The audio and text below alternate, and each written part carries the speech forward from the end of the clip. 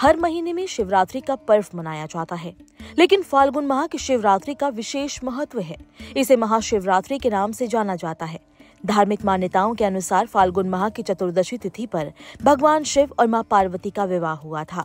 इसी वजह से फाल्गुन माह के कृष्ण पक्ष की चतुर्दशी तिथि को महाशिवरात्रि का पर्व मनाया जाता है। इस बार महाशिवरात्रि पर्व 8 मार्च को है।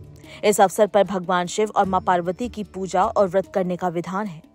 शायद कई लोगों को इस बात की जानकारी नहीं है कि आखिर किस वजह से महाशिवरात्रि के त्योहार को मनाया जाता है। अगर आपको भी इसके बारे में नहीं पता है तो आइए जानते हैं क्यों मनाई जाती है महाशिवरात्रि। पौराणिक कथा के अनुसार महाशिवरात्रि पर भगवान शिव और माँ पार्वती का मिलन हुआ था। फाल्गुन चतुर्दशी तिथि पर भगवान शिव ने वैराग्य छोड़कर देवी पार्वती संग विवाह करके गृहस्थ जीवन में प्रवेश किया था।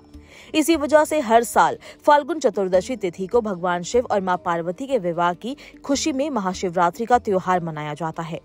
इस विशेष अवसर पर शिव भक्त भगवान शिव की बारात निकालते हैं। इसके साथ ही भगवान भोलेनाथ और माँ पार्वती की विशेष पूजा अर्चना करते हैं।